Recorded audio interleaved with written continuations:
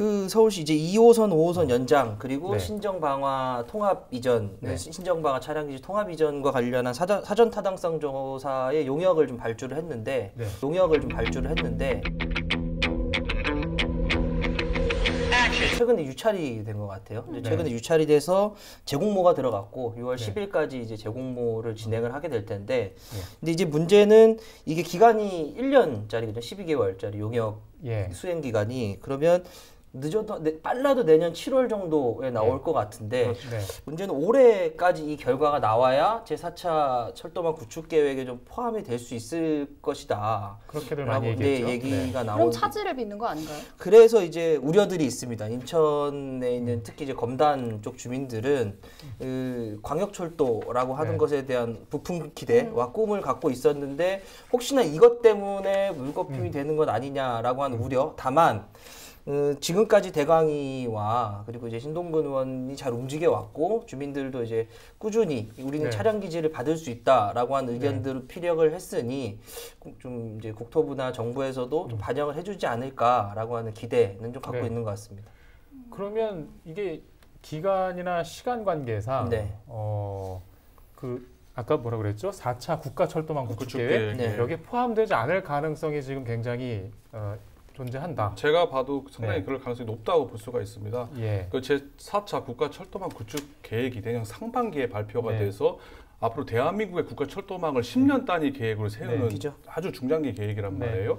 그 계획에 포함되기 위해서는 그 전 단계죠. 네. 어, 대광이 대도시권 광역교통위원회의 대도시권 시행 계획 이 포함이 되- 되는 게 전제 조건입니다. 그게 올 연말까지입니다. 네, 네. 네. 그올 연말까지인데 지금 말씀하신 것처럼 그 용역이 유찰됐다? 그리고 그 용역 기간이 12개월이면요. 네. 연말까지는 뭐 네. 죽었다 깨도 못 하는 거 아니겠어요? 네. 거기에 사전 전치 법정 절차, 행정 절차를 준수하지 않았는데 내년 네. 국가 철도망 구축에 포함이 안 되면은요. 네. 이거는 뭐 검단이든 김포든 어디든 오 5호선 연장은 사실상 물 건너가는 일이 발생하기 때문에 상당히 네. 중요한 일입니다. 네. 근데 다만 지난해 10월에 이제 대광위에서 광역교통 비전 2030 네. 이제 그게 발표를 했을 때는 여기 또 포함이 돼 있어서 들어가 있었죠. 네. 들어가 있어서 이제 어떤 그런 부분에 대해서도 좀 기대를 네. 놓지 않고 있는 뭐 이런 분위기인 것 같습니다. 그렇죠. 그 왜 그러냐면은 어 이제 서울시가 아무래도 음. 이제 신정이라든지 방화 차량 기지를 이전하고 이런 용역 예. 어, 사전 타당성 용역 결과 조사가 상당히 중요하잖아요. 하지만 음. 반드시 지자체의 용역 조사 결과 보고서가 거기에 반영되는 거는 그냥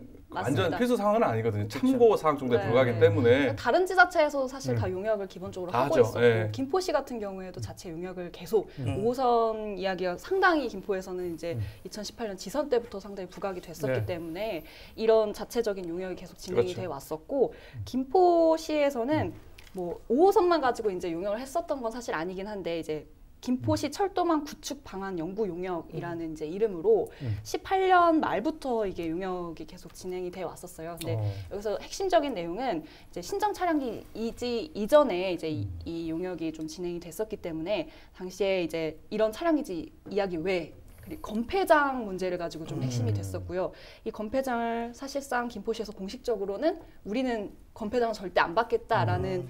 어, 공식 입장을 내놨었기 때문에 이 용역의 핵심은 건폐장을 제외하고 어떻게 사업성을 높일 수 있느냐였었고 어, 여기에서는 뭐 노선이 될 수도 있고 아니면 제2 신도시 네. 개발 이야기도 또 나올 수도 있고요. 여러 가지 방안을 해서 이제 사업성을 높이는 안이 됐었기 때문에 뭐 네. 아까 말씀하신 대로 이제 용역은 국가 철도망 계획에 반드시 반영되는 건 아니고. 네. 네. 어필을 하기 위한 하나의 만일에 용도. 김포 참고자료. 용역이 네. 끝나지 않았다면 지금 바뀌고 있는 환경도 반영을 해서 좀 이렇게 그 자- 용역 연구 보고서가 나올 가능성도 있네요. 아, 저도 궁금해요. 거기에 네. 신정 차량 기지 이전 문제가 포함이 됐었나요? 이게 사실 이제 용역이 거의 마무리가 지금 마무리 단계고 음. 아. 6월 초에 네. 결과 보고를 하게 예. 되거든요. 네. 그래서 여기 안에 이제 신정 차량 기지 내용이 포함됐다라고 사실 이제 보기는 좀 어렵긴 아. 합니다. 왜냐하면 음. 자체적으로 또 이제 조사를 해왔기 때문에. 네. 참 예, 우리가 걱정하는 상황이 생길 수도 있겠네요. 어, 서로 다른 결과가 나올 수도 있을 것 같아요. 어차피 지자체는 다 다른 결과 나와 음. 나오게 돼 있어. 자기한테 유리한 예. 그러니까 이게 쪽으로 하나의 방안일 뿐인 거죠. 그렇죠. 사실. 그렇죠. 네. 명분을 제시하는 것 뿐이죠. 네. 대광이라든지 네. 국토부에다가